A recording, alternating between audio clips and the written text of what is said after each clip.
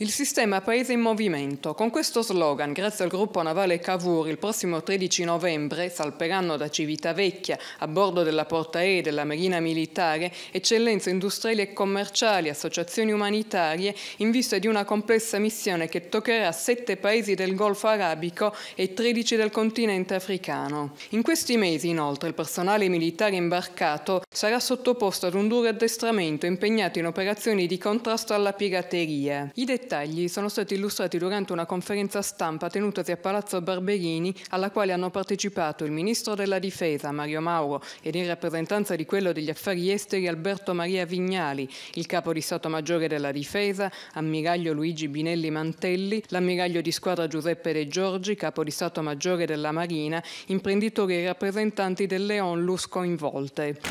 Tutte le operazioni promozionali che stanno sostenendo sono un costo o forse non sono un investimento per il sistema? Questa è una riflessione che vi lascio.